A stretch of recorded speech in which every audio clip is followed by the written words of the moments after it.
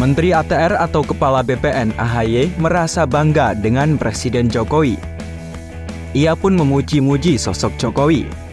Menurutnya, Jokowi sosok yang ramah dan senang menyapa masyarakat di sela-sela kesibukannya. Padahal menurut AHY, jadwal seorang presiden cukup padat. Namun Jokowi selalu menyempatkan diri mengajak menterinya menyapa rakyat.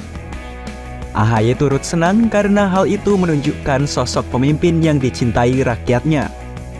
Menurutnya, hal itu mencerminkan salah satu kekuatan seorang pemimpin. Pernyataan itu disampaikan AHY usai diajak nge-mall di Samarinda pada Rabu 28 Februari 2024. Ya, tentunya ini menjadi kebahagiaan tersendiri karena uh, tentunya ini menunjukkan bahwa pemimpin yang dicintai rakyat, yang dekat dengan rakyat, dan rakyat juga ingin selalu dekat dengan pemimpinnya dengan presidennya.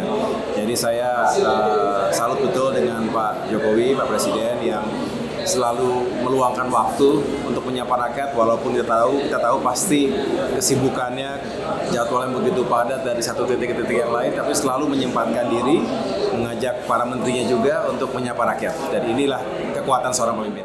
AHY merasa senang diajak Jokowi keliling di salah satu mall di Samarinda. Dalam momen itu, ia bisa merasakan antusiasme masyarakat yang ingin dekat dengan pemimpinnya. AHY menyebut dirinya diajak Jokowi ke mall usai berkunjung ke IKN. Sembari menyapa masyarakat, AHY bersama Jokowi dan menteri lainnya menikmati semangkuk bakso di mall tersebut. Selain AHY ikut pula pejabat lain yang menemani Jokowi, yakni Menteri PUMN Erick Thohir, Menteri Investasi Bahlil Lahadalia, Mendak Zulkifli Hasan, Menhub Budi Karya Sumadi, dan Ketua Dewan Pertimbangan Presiden Wiranto.